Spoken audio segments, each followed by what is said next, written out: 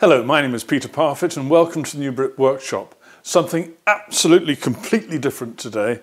I'm going to show you a little gadget which I've just bought. I bought it from Amazon and this is an endoscope. It consists of a little camera at this end, a very long piece of fibre optic cable which then links it to a bit of electronic gubbins and this has got a, a little transmitter in it which then interacts with a smartphone.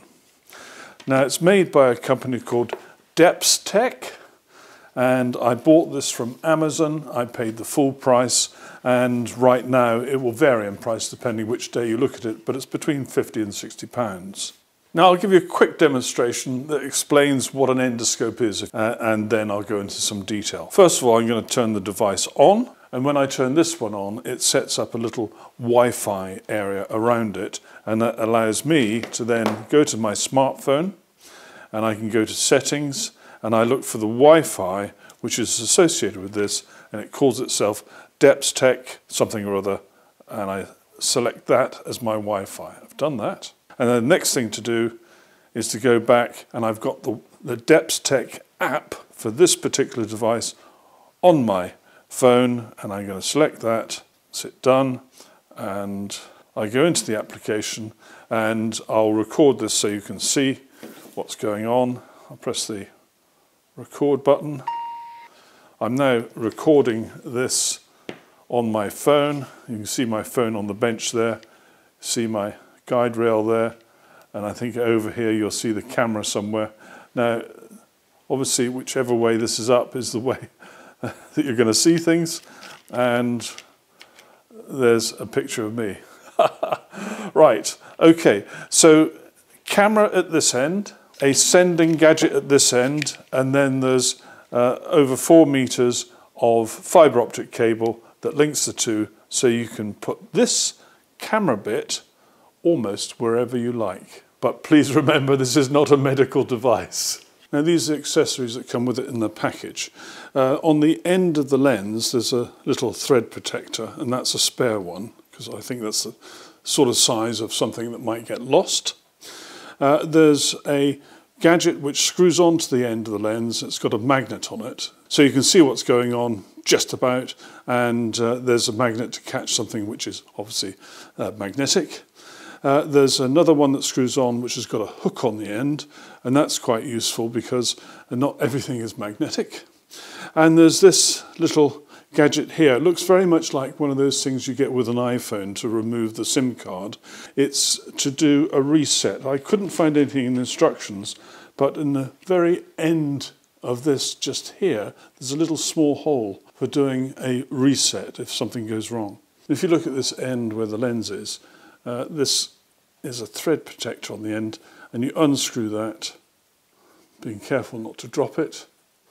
That then reveals the thread uh, which allows you to then fit those accessories. Now whilst I've got this up close, if you look at the side here, you can see uh, there's a little mirror arrangement and you can not only get a picture which is for the lens looking this way, but there's a little mirror there and you can get a view which is at right angles. Now that is really useful if you're poking this through a hole and what you want to look at is something directly below. And of course you can't always uh, bend this round. So, and you can get that as a dual view or as just a view from the mirrored side. I'm recording this and I hope you can see both screens now. There's the one which is front on and here's the one which is side on. And the resolution I've got this set up is 1920 by 720, which works very well. Now, not so very long ago, I dropped a special washer and it went somewhere underneath my bench. I actually did retrieve it, but I've put it back there now so I can demonstrate the sort of thing that this can do. So I'm going to fit the magnet now. And in order, in order to do that, I unscrew a little end piece, which is here. I'm now going to fit the magnet there in place. And that just screws on. If I go back now to the, the bench and I'm going to record what I see again. So that's now recording And I'm going under here and I'm looking for the washer. There it is. I think that's it. And you may be able to see now it's been attracted by the magnet and there it is. So that was that gadget. I'm now going to swap the magnetic gadget for the hook. Here's the hook going on. And it goes on very easily. It's quite a nice, nice thread, so not, not a difficult thread. So I've got the, the camera looking at the hook, and now I'm going to place something else under there, which I can then demonstrate being hooked out. I'll start the recording so you see what that looks like. And I'm going to look for a little something. Ah, I did see it then. There it is. That's what I'm after. It's that brush.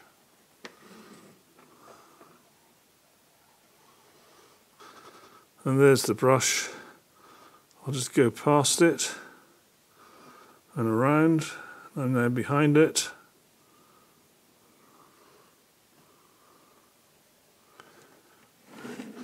And there it is. I actually had it caught underneath there and it came out, but at least I was able uh, to find it.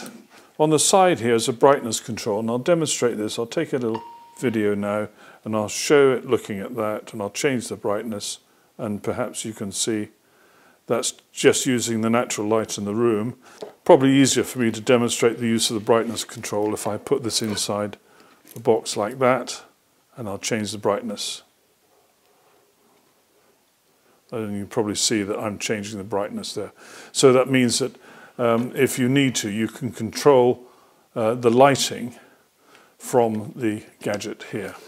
Now the accessories pack away into a handy little tube like this and go all those bits and pieces and then on goes the cap. So that keeps those safe.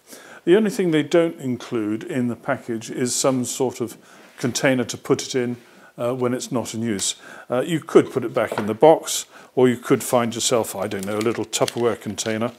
Uh, now the actual coil of fibre optic cable, this yellow stuff, uh, can be kept tidy. They do supply uh, these little cable tie straps things and uh, these are fairly easy to attach. There's one. I'll just put the other one over here and there's the other, so that will keep that safe. Now, I don't know how long the battery lasts. Uh, when I was doing an investigation into the house, where I was looking into a void, which is on the down, ground floor of the house, to see if I could put some wires through there, I had this switched on for over half an hour, uh, and it was, it was fine. If anything was an issue, it was probably the battery on my mobile phone. So, rechargeable, uh, USB to recharge it, and it works on Wi-Fi. This one works to an iPhone. Now some uh, only work with iPhones, some only work with Android devices, some only work with a PC. So when you choose the one you're going to buy, make sure you get the one that fits the gadget that you want to view it on. Now I actually bought this so I could look inside a void in the house to see if I could get a, a, a cable through it. And here's a quick view of what I did. So the void I've got is roughly here and I've drilled a hole into it very carefully. I did check that I wasn't going to hit any of the wires that might be coming up from this socket. Right, so I've turned it on, I've gone to the app, and I've chosen the uh, Wi-Fi for the DepsTech. And now I've got a picture of the gadget. I'm now going to set this onto the dual mode and I shall set this to record. So I've now set this on the dual mode so you can see my hand there and my hand here. And I'm going to now put this into the hole, through the hole, and there you can see, there you see cables that come down, I'll turn this round now, and they go off to the left and around and down and out through the far side. and I now know that I can put cables through this void with no problem at all. Now, as an update, all the time I've been doing all of the filming for this gadget, uh, I've not recharged it. So I reckon I've probably had it switched on for probably close to an hour now with no problem at all. Well, well that's the Depstech uh, endoscope that I bought from Amazon. The only uh, downside is the instructions are not written in particularly good English, but I had no problem getting the thing set up. I'm sure you won't either. Now, it was interesting, on Amazon when I uh, was about to buy this, I did look at reviews. There were over 700 of them. Um, I actually thought that that was uh, a bit fishy, uh, but uh, I must tell you that this thing works brilliantly. So I've got no, no doubt that the majority of those reviews were absolutely genuine. It's a good, good little gadget.